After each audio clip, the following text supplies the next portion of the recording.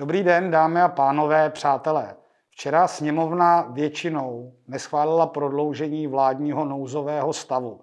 Ten nouzový stav jsme tady měli řadu měsíců a situace v České republice a životy lidí se objektivně nezlepšovaly. My jsme potřebovali vytvořit nějaký moment restartu, kdy skutečně vláda bude mít možnost zrevidovat některé své kroky, ta důležitá opatření vyhlásit znovu nebo zachovat a ta, která jsou zbytečná nebo nefunkční, zrušit. Co se tedy vlastně od pondělí změní? Změní se právní rámec, ale ta pandemie tady s námi stále zůstává. My jednáme s vládou o tom, jak budou eh, některá nová nastavení efektivní, jestli budou dostatečné kompenzace pro lidi, kteří v tuto chvíli si nastávající nedosáhnou. Snažíme se řešit zdravotní otázky a minister Metnar potvrdil, že armáda a vojáci budou moci nadále pomáhat ve zdravotních zařízeních či sociálních službách. My jsme se po celou dobu pandemie snažili eh, vládě podávat pomocnou ruku a platí to i teď. Předložili jsme řadu návrhů. Předložili jsme dokonce plán, jak pokračovat v pandemii, jak systematicky postupovat v řešení krize, která se dotýká každého z nás. Já doufám, že i v těch našich návrzích vláda teď najde inspiraci a že se nám podaří společně nad další vlnou pandemie zvítězit.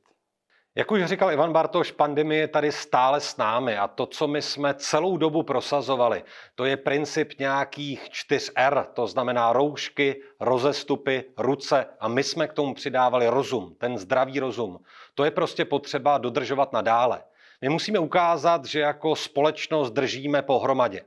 Že ve chvíli, kdy skončí nějaká opatření, se nezačneme chovat nezodpovědně že budeme hlásit kontakty, pokud přijdeme do styku s někým nakaženým, že budeme zůstávat v karanténě a budeme se tím snažit ochránit ty nejzranitelnější skupiny v naší společnosti. Ale to nemá přímou vazbu na to, jaký právní institut zrovna teď platí. To záleží prostě na nás. A já ještě věřím našim regionům, věřím regionálním politikům, věřím vašim starostkám a starostům, věřím hejtmanům, protože ta zodpovědnost teď padne ve velké části na ně. Ale oni jsou na ně zvyklí. Oni ji unesou a pokud vy jim v tom pomůžete rozumným způsobem, tak v tom případě celou tuhle krizi společně zvládneme. A o to nám jde úplně všem.